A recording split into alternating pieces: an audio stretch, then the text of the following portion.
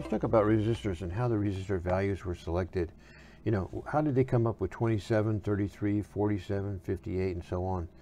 So resistors are manufactured with tolerances, 20%, 10%, 5%, etc.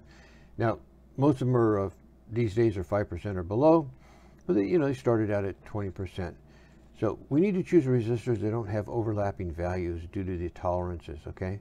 So if you had a 1 ohm resistor at 20%, it could have a be uh, at 1.8 ohms or at 1.2 uh, ohms, and that would still be within its tolerance. So the next higher value, you don't want it to overlap with this one, so they picked 1.5 ohms. So, and uh, at that you could have 1.2 ohms or a 1.8 ohm resistor, okay? And would still be within its tolerance, so, so we don't want those to overlap. So to avoid any overlap values due to tolerances, manufacturers use a constant multiplier. Okay. So we're going to take a look at the 20%, which is the E6 series. So E6 is, there's six resistors in each decade, okay? So they use the same num numbers throughout all the decades. So you have 1, 1.5, 2.2, 3.3, 4.7, and 6.8. And then the next one, you'd have 10, 15, you know, 22, 33, 47, 68, and then 100, 150, you know, 220, 330, and so on, all the way into the megohm range, okay?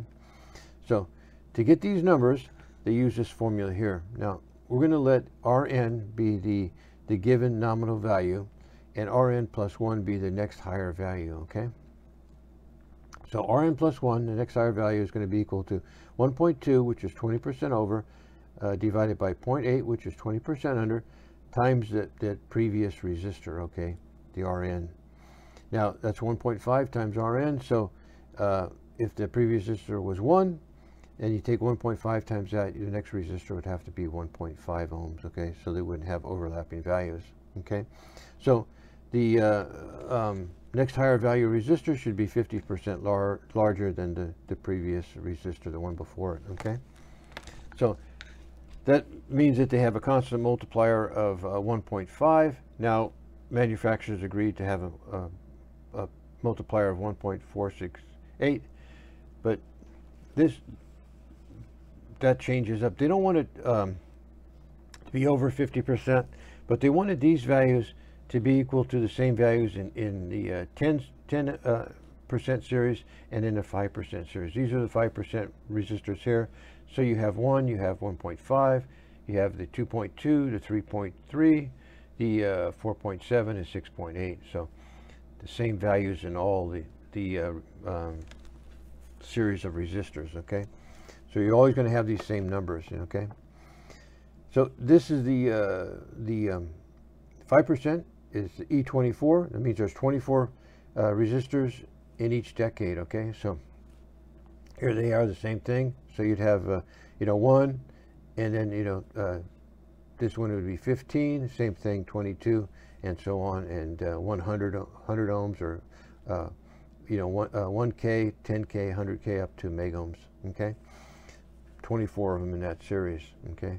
To get those values, you take your, uh, the next higher value is going to be equal to 1.05, 5% over, divided by 0.95, uh, you know, 5% under, times the previous value of resistors, so that's 1.1052 times that value to get your next uh, uh, next value of resistor, okay? So the uh, next higher resistor should be 10.5% larger than the, the previous resistor.